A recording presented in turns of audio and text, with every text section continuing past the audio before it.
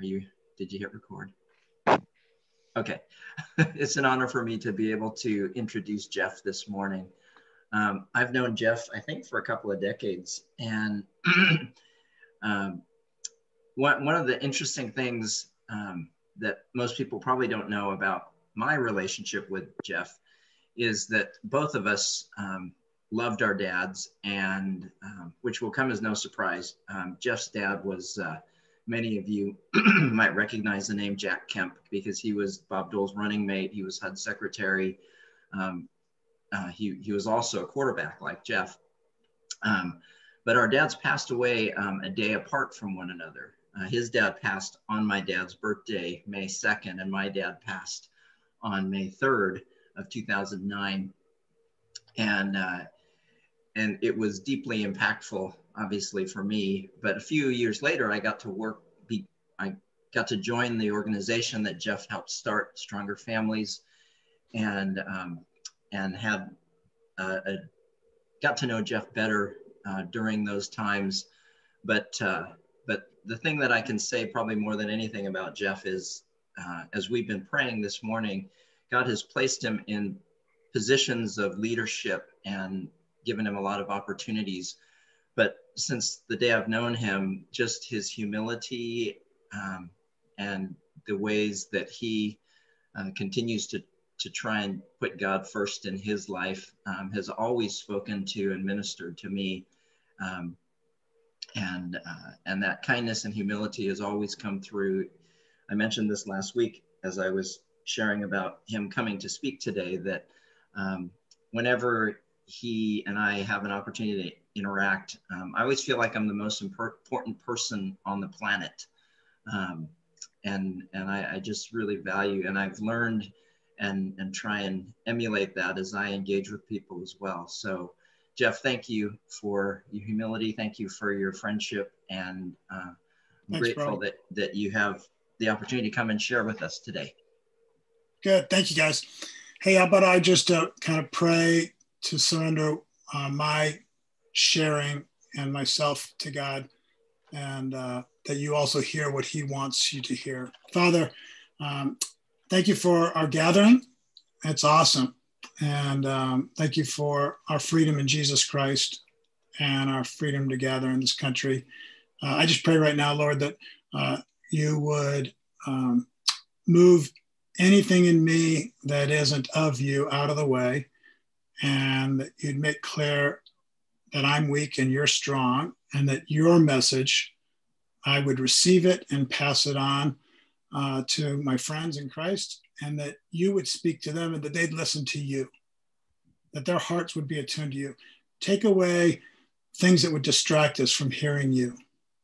Uh, help us all be daughters and sons of the Father during this time and all through this day. Um, I pray you accomplish what you want, that what I say to be um, true to your word and would only point to Jesus. And we pray this in Jesus' name. Amen. Okay, it's good to be with you. Um, there's a lot going on in my heart and your hearts. There's a lot going on in your lives and my lives, and a lot of it isn't what we expected.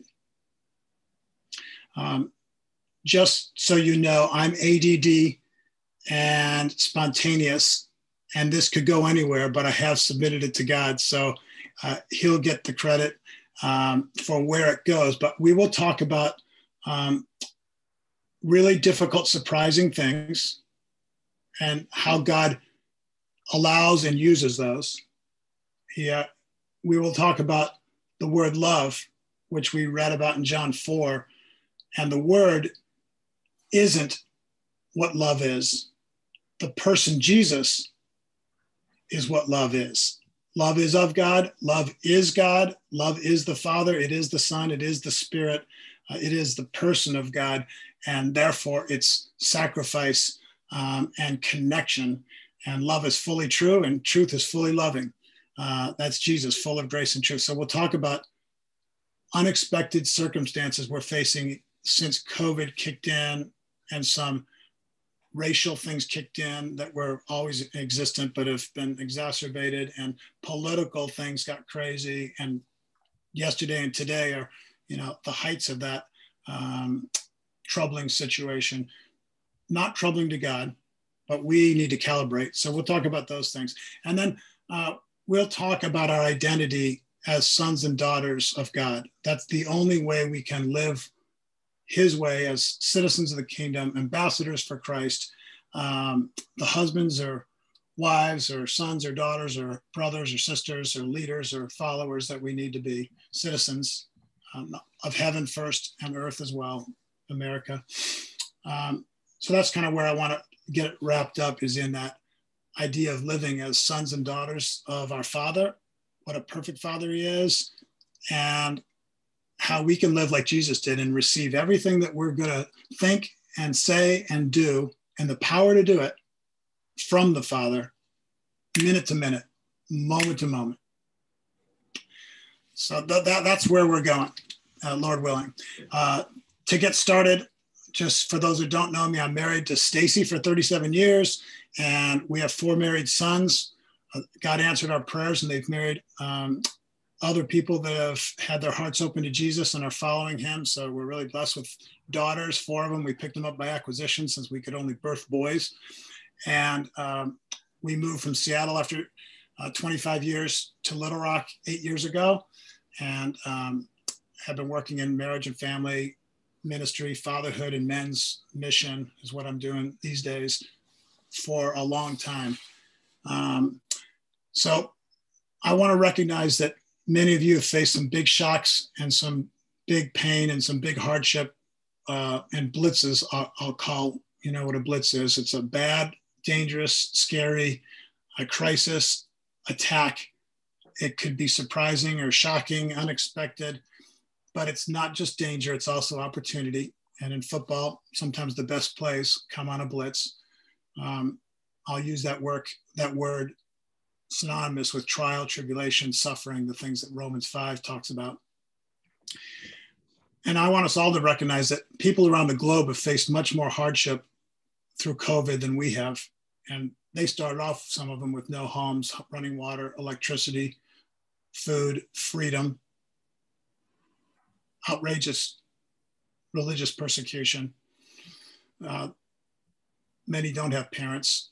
Okay, so and then COVID's hit them hard. And then COVID's hit um, people so hard who've lost their loved one or they're on the front lines working outrageous hours under off, awful conditions uh, in hospitals and stuff and, and police and firefighters. Uh, so they've got hardship. Um, I don't compare mine to anyone else's, but at least to be real, I'd rather share my story than throw, you know, principles and, and and strategies at you. So let me just start with what uh, has happened since March for, for Jeff and Stacy and our family um, with this COVID shift we've faced. Um, one of our sons, the one who lives in Seattle and is married to a Gig Harbor uh, girl and has a little one year old daughter, he's been with the Seahawks for nine years. And he was one of those COVID downsizing things who loved his job, did great for nine years, has a Super Bowl ring on his hand, which I don't have, even though I played and he just was in the media department. Um, he got one of those, hey, we're, we're doing some downsizing due to COVID. You've been great. Nothing about you, but uh, sorry, you don't have a job anymore. And they just had a baby and bought a house, uh, which isn't very inexpensive, you know, not inexpensive in Renton or anywhere in Puget Sound. So uh, he got a good opportunity to trust God. And I'm so thankful to see his journey with his wife of trusting God, tackling his blitz, and completely switching fields. And in a short amount of time, three months, God gave him a new job. That's nice. More importantly, is they didn't panic and they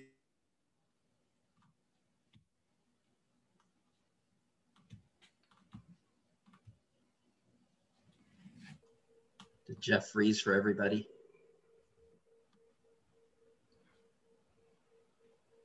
But we're not going to panic. I was just going to say that. he got blitzed.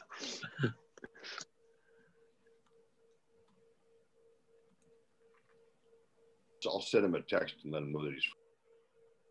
in case, in case he hasn't figured it out. I'm sure he's figured it out, but he just has to reboot. Welcome back. While Jeff is still frozen, maybe Alan, you can share for a minute or two. You literally have just returned Wait. from DC. 30. I think he uh, is going to rejoin us. Um, Literally just- Uh, oh, Jeff, left. you were Yeah, man. frozen for a minute, and so we lost you Up, there we go. Tell me where you lost me and I'll pick it back up. just after your son got uh, his new job three, Oh, okay, yeah. three months. So the, the gist of that is, hey, they faced a little blitz, big to them, and we saw their faith grow. We saw their marriage grow. We saw their experience with God grow. Um, and God also, you know, guided them to find a job. He's got to try in a whole new field. It, it, it, it may be very difficult. It may work out, but God's in it and he sees that. Our other son in New York City, um, married with a little four-year-old, uh, they live in Manhattan and things got crazy. And he basically shipped his wife and um, son down to Alabama to her folks. He had to quarantine after being exposed. Um, he was a nomad for about a month without being around his family. And he was handling the markets for a hedge fund with outrageous stress and pressure. Um, his life didn't get very easy during COVID. But it's interesting. That son, the oldest one, uh, that we probably needed the most increased understanding of each other and time together and to say some hard things and to wake me up to some things that I needed to learn about not parenting my kids anymore and not kind of putting my grid on their life um, and making them feel judged, not appreciated and enjoyed and loved and supported like all the others. Uh, they ended up living with us for two months in our house, and I had the most fun grandparenting time ever. And our relationships had some tough, straightforward stuff happen, including we got a counselor to help us as a family. And we grew a ton, all because of COVID. And they even found a new home in Nashville and got permission to work uh, remotely. And God has changed their life for the better in a million ways through a worldwide pandemic. And then March 8th, when uh, California kind of started shutting down events, I had a 500 man men's retreat I was going to speak at, and about five other men's conferences and retreats scheduled in March and April. And, and uh, they were all canceled in a day. And so that's the only thing I do. Uh, and it was all done. There was no more travel and no more events. Uh, I don't have a job or a salary or an organization. So that was a bit of a blitz, but it has triggered um, an amazing time with my wife because I was traveling probably too much at the beginning of the year and the end of last year. Um, I prayed for more opportunity and God was giving a lot of it. And maybe I wasn't discerning on how much of it to take. We got to connect with all of our kids, both physically and a lot of it by Zoom, phone call. And I went on a journey. And the journey was I want to know God more as my father than as the God of the Bible or the God of my faith. I want to I want to figure out what's it like to be a son. And uh, I- got some great help from a guy named Ed Tandy McGlasson that played in the NFL. He's been a pastor for a long time. We're friends. And he, he wrote books about Father God. Um, his ministry is Blessing of the Father. And he, he talked about a change in his life at age 40 when uh, he stopped trying to perform for God as a pastor, husband, dad, evangelist, speaker. And he was outrageously good. but he was not at peace in his marriage and family wasn't all it was meant to be. Um, and he said, I got to give up this performance thing and I need to be refathered. And uh, no human father's perfect. He'd had a dad die while he was in the womb and then got a new stepdad who was a really tough military dude. And so there wasn't a lot of tender relationship stuff. So we didn't get a real tender relationship view of God the Father. So Ed helped me, and so did Dave Patty, a missionary in uh, Eastern Europe that wrote a book called Father God, Dare to Draw Near. And uh, I went on a journey and I wrote in my journal and told God, I want to know you better as a father. I want to experience sonship. And I'd like to learn the receive principle that Jesus lived by. Um, I'll show you a quick snapshot of some of what happened. Uh, Dave Patty's book reminded me um, And I sense this that all of our hearts, men and women, are needing some basic things from our Father. And if you think of your heart with four quadrants, the things that we need are number one, to know who we are, our identity. Now, I wrote son because I use this with men, um, but it's you're a son or a daughter, you're a child of the king, um, you're unbelievably loved. And he says he gives you the righteousness of Christ, and you can call him Abba Father, and you'll be his child forever. And you don't graduate from being his child. You just grow more and more into a dependent son or daughter. And then God gives us his unconditional love. It's never going to go away. Tim Keller says we can't do anything bad enough to lose it or good enough to get more of it. It's grace, it's his choice. And then God gives us, which we really need from our dads, but we're not going to get it fully from our dads. Um, we're we're going to get his pleasure, his affirmation, his enjoyment, his smile. A lot of men, Christian men, know that God loves them because they've got theology, but they don't know that God likes them. They live in shame and they stay isolated and they hide and they try to perform and they try to pretend because um, they don't know that their father actually likes them. And he doesn't have to look at the bad stuff in them. He's already forgiven it and he sees the future version of them. Like the angel saw the future version of Gideon before he had any courage. That's when the angel Jesus showed up and said, Gideon, you're a great and valiant warrior. You're a mighty man of God. You're a man of valor. Well, he wasn't that yet, but God knew he would be that because God was making him that because God takes pleasure in him. And then finally, you need to hear from your, your, your, dad that you have a place in this world. You have a mission. You belong. And uh, man, we have a place in heaven and we have a place here on earth as his ambassador. And he's given every one of you gifts.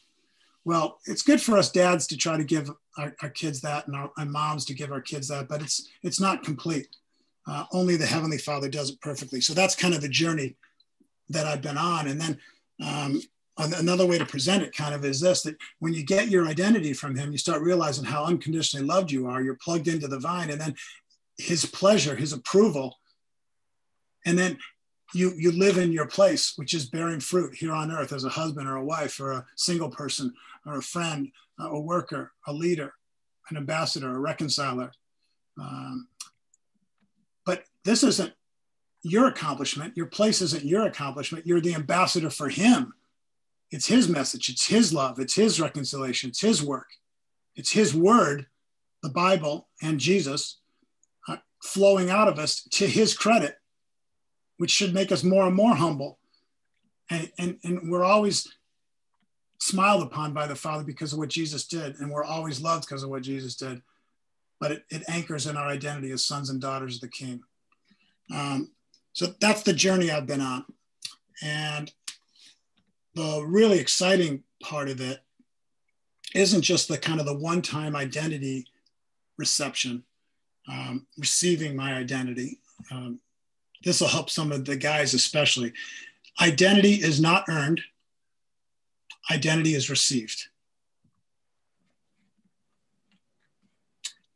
And I think maybe it'll help some of the women too, because women were kept down for many times and given a very little ability to define themselves. Uh, some of it uh, was really hurtful and negative to women. And then we had this pendulum swing that said, you can be so much more. So, you have so much more gifting and leadership. Um, but we shifted it and started saying women must prove themselves like men. So we've got women trying to prove themselves as sexual aggressors like men, women trying to prove themselves as career performing people like men, which that's not the best part of men. Yeah, men are good at that, but that's not our identity. Um, so women trying to perform and compare themselves on Instagram to the other woman. Even stay at home moms that are comparing themselves to some people's picture perfect, crazy, varnished version of life. Uh, this is madness. The social dilemma Netflix uh, documentary shows how this weird internet virtual world is hurting us in many ways. But identity isn't earned, it's received. You live from your identity, not for it. Um, you've heard a lot about this maybe from Jamie.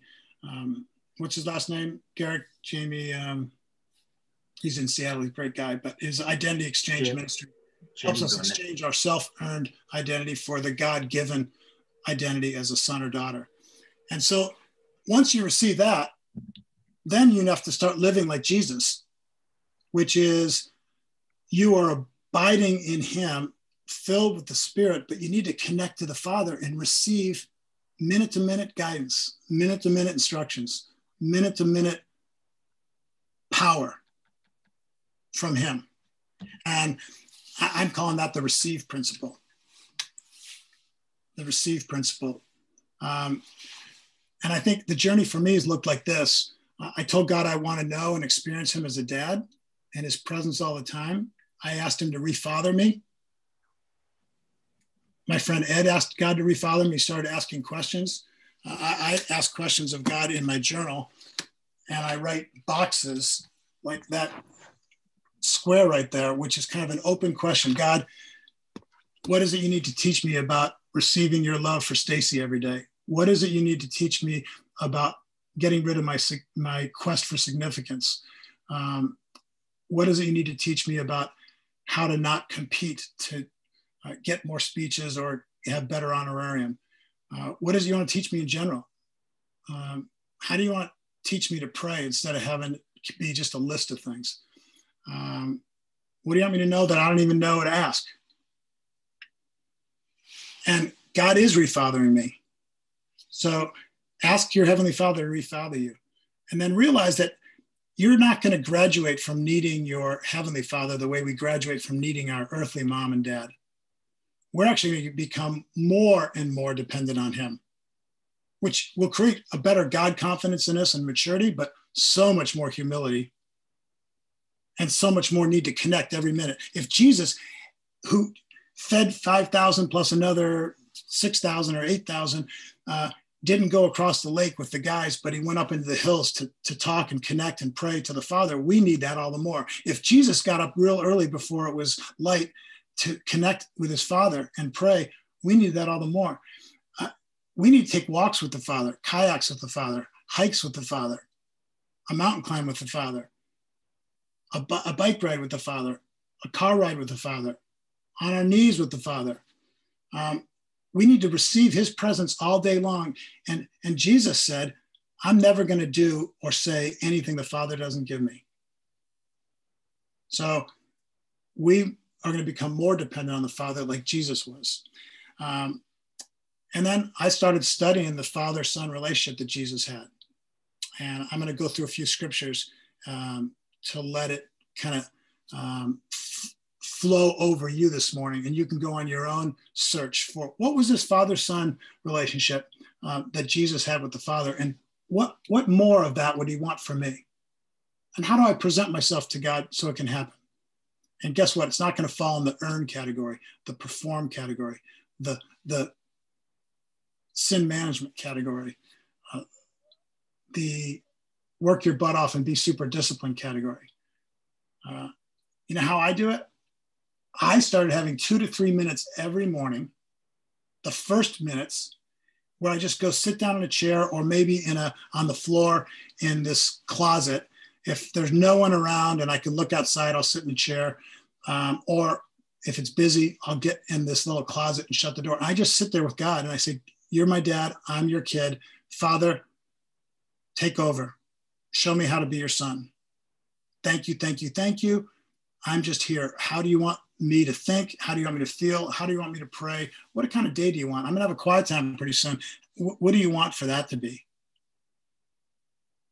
And but and giving him that time and identifies me as a son, and it begins that process of dependence. Okay, um, so that that's been a key for me. Just starting the very first thing out with a couple minutes, no pressure, but sit with the Father quietly and uh, get started living as a son. For you ladies, obviously the word son is daughter. And then um, my very first prayer, it's flexible, but this is what God's given to me. Um, and I'm praying various versions of this. I prayed late last night because I'm trying to help a person in, in addiction and crisis, and I'm getting very embroiled in it and trying to help a codependent spouse, and I don't want to be codependent myself. And so I said last night in bed, and I say it in the morning Father God, Lord Jesus, Holy Spirit, fill me, father me, and lead me. Father God, Lord Jesus, Holy Spirit, fill me, father me, and lead me. And then I remind myself, I'm going to abide in you and I'm going to receive from you and I'm going to be changed and transformed by you. So take over, God. You own Jeff, and you're a much better owner than Jeff. You're so much more kind, generous, good, creative, loving, smart. You're a way better owner than me. So you can have the title deed of my life. I've, I've written a title deed to my life.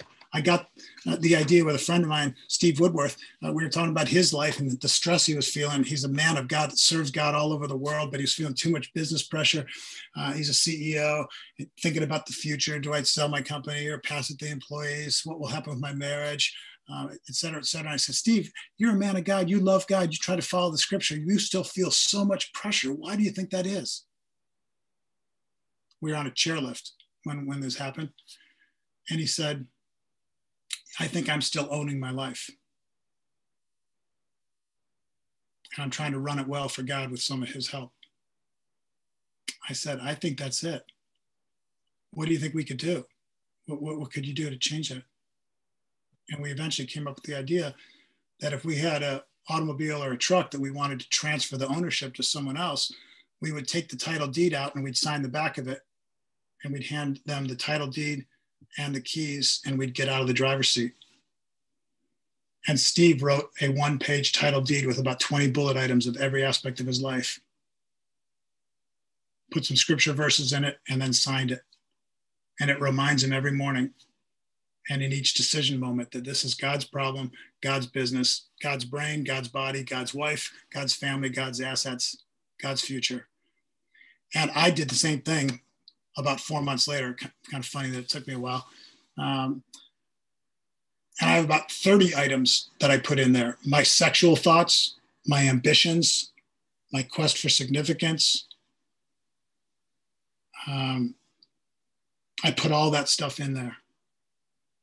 My reputation, my family, my future. It is so refreshing when you're in the shower and your brain starts to twirl around all the ideas of what you want to do or what could go wrong or what could go right. And then you wake up and realize, I can't execute hardly any of that. And I'm thinking without even letting God be in charge of my brain. I got to get God back in charge of my brain. And then I remind myself, I'm a son and he owns me. Okay. So here are some of the scriptures about Jesus and how he lived as a son. Um, in Matthew, um, remember when Jesus got baptized? God the Father came to him and said, This is my beloved son, whom I'm well pleased. So he said, This is my son. That's his identity. He's loved unconditionally, and I take pleasure in him. So he, he was filling up those boxes. You see that? And then at the transfiguration, God said the exact same thing about Jesus. He said, This is my beloved son in whom I'm well pleased. He's the anointed one. Listen to him. So he added the fourth piece, which is his place, his identity and purpose, his calling. And God gives us all those. Okay. And then Second Corinthians 5, um, verse 21 says that God made Jesus to be the punishment for sin for those of us who are sinners so that we could become the righteousness of Christ. He gives us standing with God that's awesome and perfect because of Jesus, and he gives us credit for it. That's why he could say to someone like Gideon, Hey, dude, you're already a great and mighty warrior. And all of you people who are a little disappointed or maybe even very disappointed in yourself, feel some shame. Uh, shame's from Satan, by the way. Guilt's from God to get us back on track. Um, shame says, You're bad. Guilt says, Hey, you did bad. Just confess it, both to God and to someone horizontally, which is a true confession. And you're back in connection with me. Second Corinthians says that we already have the righteousness of Christ. That is your identity. So live from that identity and that righteousness and that righteous standing, not trying to earn it. Um, and then, gosh, look, there's so many verses in here. Uh, when Jesus was a boy, he said, Didn't you know I had to be in my father's house? In Mark 1, he had to get up early in the morning to pray. In John 5, he said, My father's always working and I'm always at work for him. I look for and I carry out the Father's work. I can only do what I see the Father doing. Um, John 14, I'm in the Father and the Father's in me. The words I speak to you, I don't speak on my own. I get them from the Father. The Father who lives in me does these works. Believe me that I'm in the Father and the Father's in me. And then he says in John 14, the word you hear is not mine, but it's from the Father who sent me. And he's always going back up into the mountains or getting up early to go connect with the Father. If Jesus needed to connect for the Father, I need it. My gosh. You know, the Garden of Gethsemane prayer. Here's my feelings and here's my hopes, God. I'd rather not die on the cross and bear the sin of the world, be separated from you. But not my will be done, your will be done. You own me. Man, I need to pray like that. And uh, Jesus says in John 7, My teaching isn't mine, it's from the one who sent me. I seek his glory. The one who sent me is true. What I have heard from him, that's what I'm going to tell you. I'm doing my Father's words. My Father's in me and I'm in him. Just over and over, Jesus is connecting to the Father and saying, He's always at work, and I'm only about His work, and I'm only going to say and do what He gives me to do. And guess what? If He needed that and He enjoyed that, we need that all the more, and we can enjoy that. That's the receive principle. All right. Starts with receiving your identity. And then it's moment to moment, day to day, starting off your identity as a son or daughter, living as a son or daughter, and then begging him to talk to you. And so you don't read the Bible anymore as a Christian. You read it as a daughter or a son of the Father to connect with the Father and hear from him. And this morning in my journal, I have a wild day. I had this, I had a radio interview this morning. I have a, a, family intervention that I'm involved in. I'm not a counselor, I'm like the, the supportive friend. Um, I have a board meeting, I have a radio interview, and I'm packing to go to Vail for a week. And then I have a men's conference that I'm hosting. I am maxed out and I needed to hear God so bad. And I've already heard God this morning. I knew when I opened the Bible, I'd received some things from him. I even received some things in a text message from the gentleman that I'm trying to help's mom that completely answered some questions that I thought I had to do something about. And God said, You don't have to do anything, Jeff. The family understands this, they're helping. God is giving me what I need because I'm looking for it and living as a son. So I'm gonna I'm gonna stop and let you guys comment on what is your aha? What are you hearing? What's the Lord saying to you this morning? You're gonna hear something awesome from one another. But here's the last story to make this practical. I'm very competitive and I love my wife, but sometimes when she and I play tennis, which is our main date, we do it twice a week, sometimes three times a week. I'm wearing my hips out. But sometimes I get too wound around the axle about the way I'm playing, and I get more frustrated and competitive and angry than makes it enjoyable for her.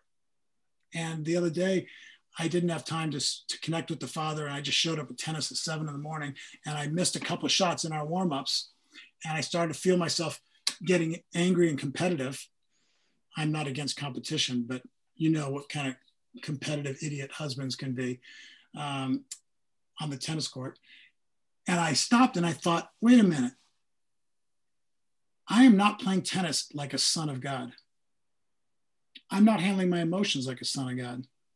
I'm not acting like God owns me or this tennis racket or this court or that woman across the net from me. I'm acting like I own it. And then I didn't beat myself up. I just said, that was dumb, God, but thank you for reminding me. I'm your son. Help me play tennis as a son. And I used that mindset all, for, you know, for all three sets, and it was awesome. And my wife had fun. She enjoyed it because I was receiving from the Father as a son, and it was a real time shift because I realized I hadn't started the day off as a son, and I hadn't started playing tennis as a son, and I needed to shift to that. So tennis may not seem important, but it affected our marriage, which is important and everything else in your life is important. Put it in God's hands. He owns you, He owns all of it. You're His daughter or His son. He will speak to you and give you what you need. The Bible will come alive. Your prayer time will come alive. You'll receive messages from friends.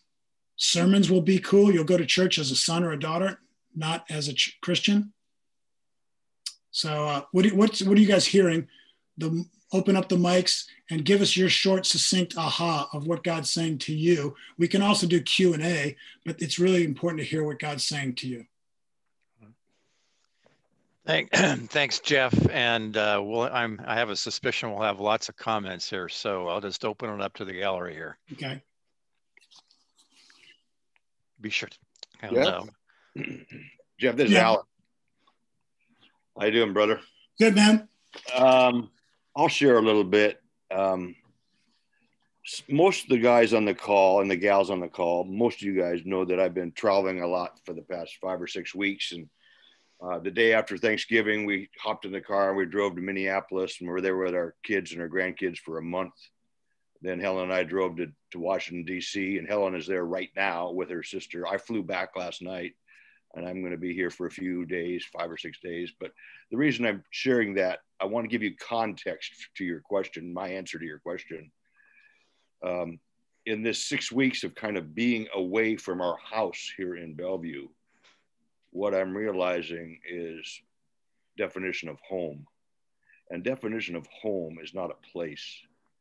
Uh, what the Lord has showed me in these past several weeks is that home is where your loved ones are your where your loved ones are and where and your love with him every day so for this next six or seven days i will be the only human being in this house for seven days or so. Um, but i am with him all the time. And and i'll be able to be on an airplane you know in a week or so and be back with helen. And and we will continue on a journey across the country that we don't even know when it's going to end uh, in terms of getting back to seattle. And this has a COVID has a COVID story to it in that um, your opening comments about you know how our lives changed since the early part of March. Um, mine work and the things that we normally do here has not changed a lot, but it had changed for Helen a lot in terms of her ability to really do things and see things she wanted to, she wanted to do. So this is uh, this is an honoring time for me, for her, to let her be with her favorite sister right now, right now, for the next three, four, five weeks, however long she wants to be there. And then we'll move on to our next destination. And I'll fly back to Seattle periodically when I need to, like I just did last night. And I'll head out again next week. But um, that's my big aha, Jeff, is what is home? What is it? And and and it's all about in my learnings, and he's still teaching me here it's about relationships with Him, um, intentional, regular, and particularly this time now when I will be the only one here for a week or so. Um, and then back with my loved ones here in another week and, and continuing on that journey. So thank you. Thank you. thank you. What's God, what's God saying to other people um, about this receive idea and letting God own us and uh, in this new season of learning? And I I would like to reflect on that. If can you hear me okay? Yeah. Hi, Lisa. Hi. So I was really focused on your discussion of identity. And mm-hmm. I was thinking through, as you were saying that, I'm actually reading a book about our true identity and really that it comes from God and that we're we are not our ego. We are not our bodies. We are not any of those things. We are interconnected with other human beings and that is our core identity. And i was thinking about i have another friend that i invited to join us today and i think that he's i think he's just busy because he he works for the seahawks now and he played football too. And i know him really well and without speaking his personal story his identity for a period of time was very wrapped up in football. And shock of shock of shocks. I can't believe right? it. And so I was thinking about as you're explaining your concept of your own identity and how things have shifted, particularly the past um, several months. And here you were going on all these speaking tours, and then that shut down and you've been so open and honest about how that feels and it's an opportunity to connect with your true identity it made me think yeah all of us go through periods in life where we tie our identity to a title Like that's the way the world sees us. And then when that title disappears, who are we anymore? And I've gone through it. My boyfriend has gone through it. Like it's it's fascinating to me. But then the the real crux of it is none of that was ever significant. Like none of that defines us. So I really appreciate your transparency in discussing that because you've carried this title, right? And and yet you're saying that's not really who I am at all. And I I so very much appreciate that because I think it affects everybody. Well, thank you. You know, um, I, one of the things I did in the journey to let God refather me and start learning to live out of my from my identity, not for it, um, is I, I, I processed this book slowly called Father God Dare to Draw Near by Dave Patty. And he asked me to try to examine what's the lie that I have accepted and attached myself to in my life. And what is my version of an idol? What's like, what's like, what's like really big that gets in the way of loving God first in my life? And then is there a particular sin, like a, a certain way I've disconnected from God um, and keep on going opposite of Him that God would reveal to me? So I got some really clear answers on those things. My lie is that present Jeff isn't enough. I'm a former 11 year NFL quarterback. I have spoken to the Billy Graham Crusade and all sorts of things. And um, I've gotten to do a lot of cool things, but I never feel significant enough. I always want more. My dad was running for president when he was 50. My dad won two championships in the NFL. My dad was a players union president. Um, he's a better famous speaker than me. Um, I see tons of people spiritually that have more impact on the kingdom than me. I'm always competing and comparing and want to be more more more more more. Present Jeff isn't enough. That's my lie. My idol is future Jeff. My dad encouraged me, said, You're a stud, you're a Kemp, you're a leader. I believe in you. Your day's going to come. You're going to make a difference. Um, I'm so proud of you. Well, all that was nice, but a lot of it packed into performance rather than character and faith. But Garrick and I have talked about this a lot. So my idol became future Jeff, future significant Jeff, future making a bigger impact Jeff. And that idol made me too stressed, too driven. I may look humble on the outside because I want to look humble on the outside, but I'm not humble on the ins- uh, inside because I'm pretending to be humble on the outside because I think that's a good thing to be significant. Okay? So my lie, I'm not enough. My idol, future Jeff. The future will be better, and I want to be significant then, um, more significant. And then here's my sin it's ingratitude it's basically not being content with who God is, what He's done for me, and who He's made me to be, and what He's given me. And that is really, really dumb because He's gone way overboard for me. I should be grateful like crazy. And gratitude makes room for God to live in you. A lack of gratitude doesn't leave room for God. I read that in Jesus Calling this morning. Grateful people have plenty of room in them for God. Ungrateful people don't. So you might want to go on a journey to say, God, what's the lie I've been believing? What's the idol I've been chasing? And what sin is holding me back? And then ask him to refather you, and he will. He's been doing it for me. So you're right, Alyssa. Um, Elisa, it's it's it's it all goes back to identity. You are who God's made you to be, not what you can earn on your on your earthly quest, whether it's a Christian performance quest or a normal professional impress people quest. Thank you. Yeah, that's that's words that I really value and needed to hear. So I'm so I'm grateful for you and this fellowship and everything. Um, at the time in my life when I had the greatest financial abundance, that was the saddest times in my life. When it was stripped of me, and everything was taken away and all I had was the people around me, those are the most joyous times of my life. So now that my life is rebuilding, I'm squarely focused on people and everything else is just like on the peripherals. So Good. I'm so Good. glad that you had the time with your own children too.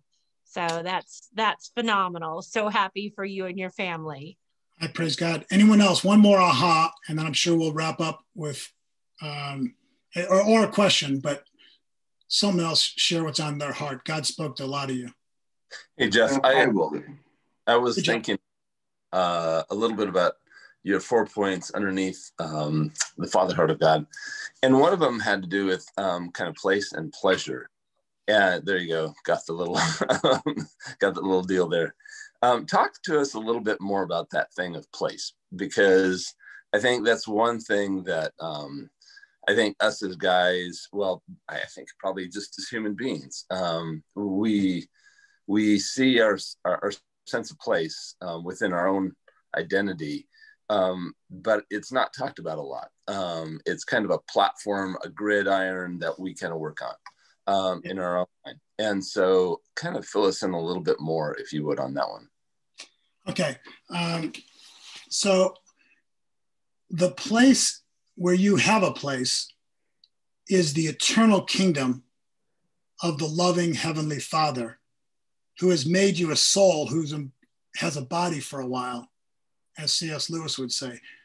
You're not a body that has a soul, you're a your soul Right. that has a body. So your Really? place, now that you have had your heart and eyes um, open to Jesus uh, by his grace, and you've been adopted into his family, your place is in his home forever and ever, eternal. And this little thing right now, like Francis Chan shows in that video uh, that you can find on YouTube with the 100 foot white rope and the little three inch red end saying, We live for the three inches on one end, like it's the whole thing, when the rope is infinite. Right. Okay. So your place is in the eternal kingdom of heaven. It's not going to be boring. It's going to be paradise. It'll be more creative and wonderful and beautiful and dynamic, uh, uh, entrepreneurial and glorious. But the glory will all go to him, none to us, which will feel good. Um, it's going to be way better than we can imagine. And the kingdom is also now in our hearts and in our loving relationships, though it isn't fully manifest, right? Because the enemy still has some influence here on earth and Jesus hasn't returned to restore it all. So your place is in this eternal family in the kingdom of heaven. You're already got all the status you need and standing to be in heaven. But then your your place on earth, and I, I you won't believe this, but I actually drew a weird picture of this. I'll try and find it. Uh, your place on earth is as his ambassador for Jesus, which is reconciliation to the Father and horizontal reconciliation, which he always did. And you're touching this world in places for him that other people aren't touching. Okay. I gotta find a little picture before we wrap this up. Here it is. Here it is. Come on. Um, here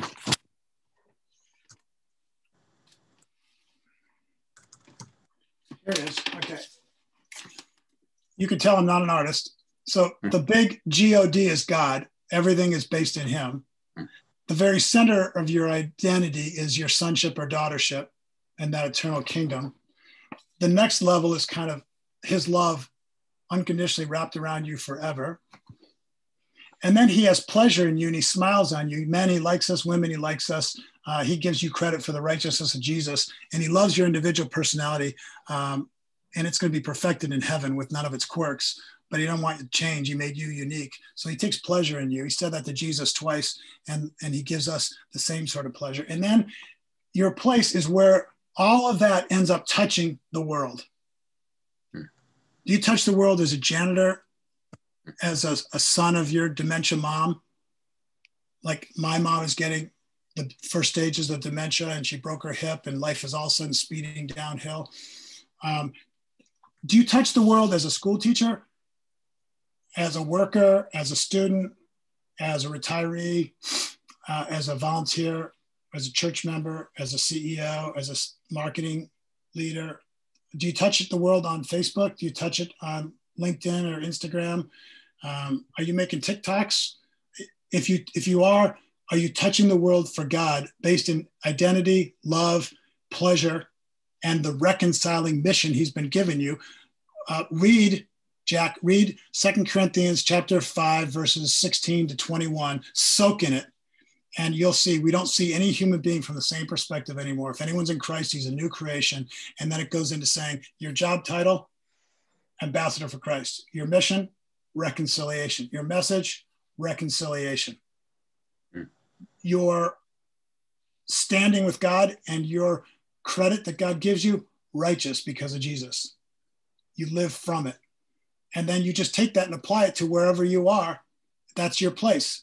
And I do think that your strengths are kind of what God wants to see polished and stewarded when you give it over to his ownership. Uh, because a lot of identity stuff, if I talk in a secular audience, I'm going to talk to them about um, identity is based in relationships and strength. If you know your real strength, I'm an imparter of vision. That's who I am. I'm not an entertainer. I'm, I'm not a speaker. I, I'm not a preacher. I'm not an ex football player. Yes, I'm a son of God and a, a husband to Stacy and a dad to these cool kids and a grandpa now. Um, but hey, I, I'm an imparter of vision. That's where you put me on your team. So that's place, Jack. Okay.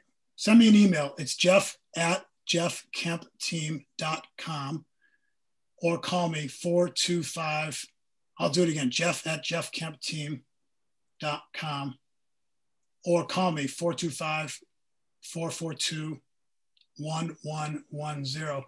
And I'll, I'll send you some of the things God's been planting with me on identity and purpose and mission and how it all fits together, you know?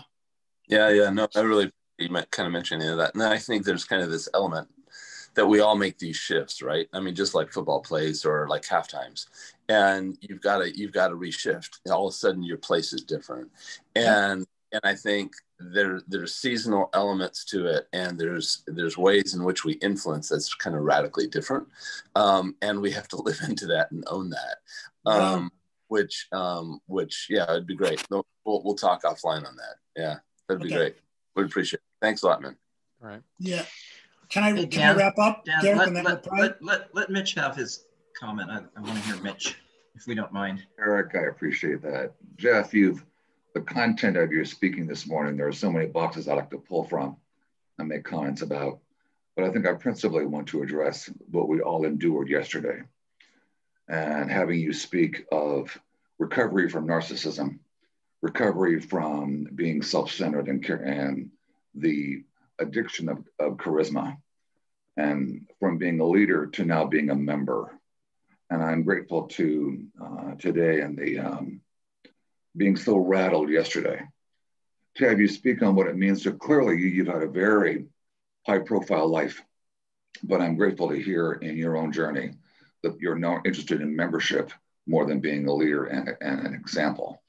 To have being a member be how you walk God's life Yeah. within you. But Mitch, I think you're, you're getting us to the point, Mitch, that um, if we know that we're all created in the image of God, we're all cherished and special and loved. But if we see ourselves through God's eyes, which is humility, then we're going to know that we're outrageously loved, but incredibly flawed. And we were meant to live in community as part of we. And the body of Christ, Ephesians 2:10, is a masterpiece, a poiema.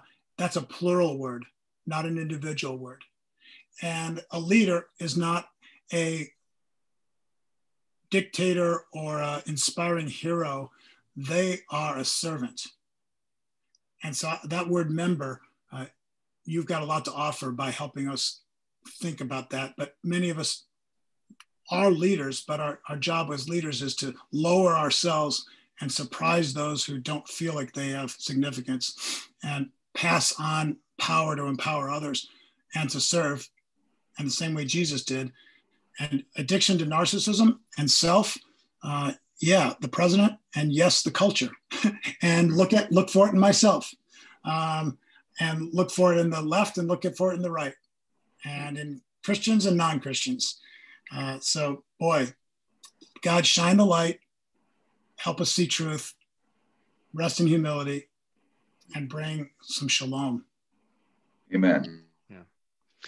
Well, let me go ahead and wrap this up. Um, Um, Jeff, thank you. Um, really can't thank you enough. All, all four of the pieces of that quadrant, I stand my hand, raise my hand and say, yep, that's me. Hey, Dan, Yeah. before you close, can I have Yeah. 30 seconds on a key Sure. issue? Sure. Right. There is incredible satanic spiritual warfare going on that is behind so much of the yucky political and racial um, and kind of moral values stuff that's breaking the generations apart. And you feel the division in your families, uh, people that couldn't uh, talk with their kids, their kids can't talk with them. They're anti each other on Facebook, et cetera. I've seen families split up, churches split up, small groups split up. Uh, please, please remember it's spiritual warfare. Okay. Number one. Number two, we are putting our ideology ahead of the heart of God for family, the way that uh, our friend Alan was talking about. And any parent that's wise knows that your job is to parent the heart of your child, not all the beliefs and positions and who they vote for and what their view is on how bad we've been to homosexuals and how we need to change the law. Um, no, parent their heart. That's going to come from humility, self reflection, telling them what you're learning about yourself that's flawed. And then the best parenting we can do to any adult child is to apologize and be humble and get out of the coaching, parenting, moralizing uh, place. And so it's not us or them, it's we. We don't need to win the political battle and lose the souls and the spiritual war. So realize there's division going on. You can be the peacemaker in your family. You can tone it back. You can say what you're learning about yourself, where you think you're off track, what you want to apologize for, and say nothing about what you think they're doing wrong or where they're off base. I promise you, you'll get more reconciling results from that than you will a super deep Bible study and tons of emails and texts that show them what the best position is according to God. Yeah, great. Thank you, Jeff.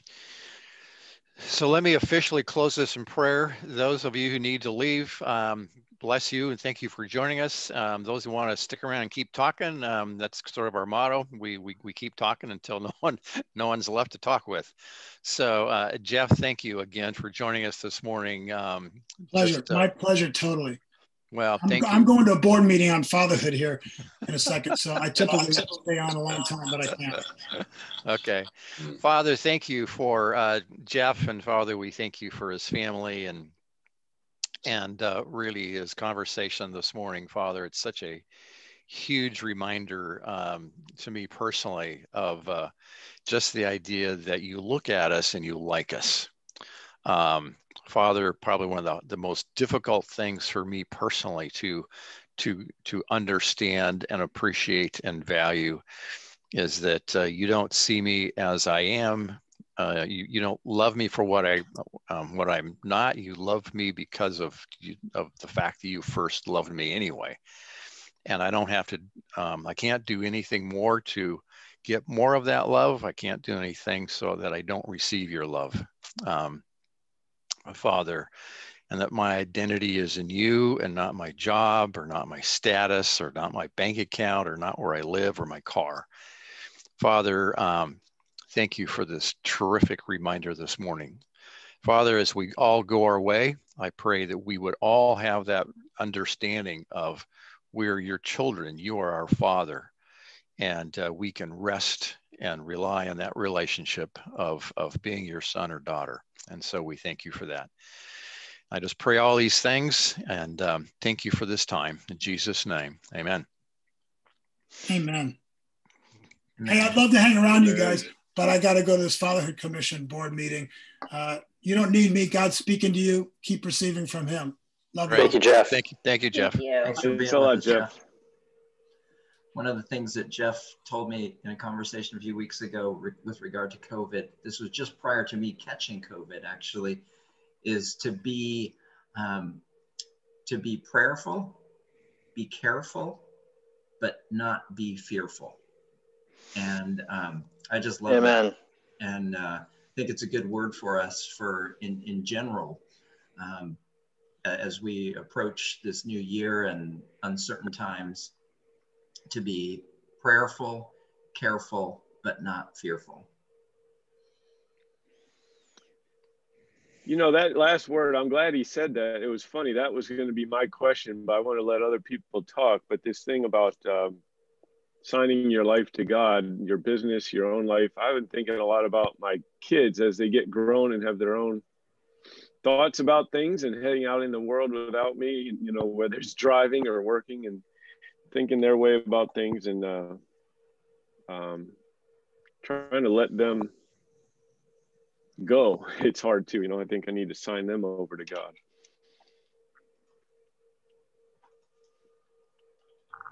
Amen to that. I, I, I honestly, I, I um, was hesitant to come to the meeting this morning because we were up late last night talking about all the stuff that was going on in DC, and uh, I just was so blessed by this conversation. And um, he, he, is um, he's one humble guy. just, uh, and I appreciate his integrity and honesty and sharing, you know, his own weaknesses um, and, through that whole process. And um, yeah, I, he just used a lot of words that were really beautiful and and totally resonated for me. So I was super thankful for that. Thank you. And Bengt um, and Garrick, actually both of you guys, I, I, I love and appreciate that you guys are like kind of active note takers and actively sharing uh, links and, and insights and ideas and stuff as we're going through the meeting.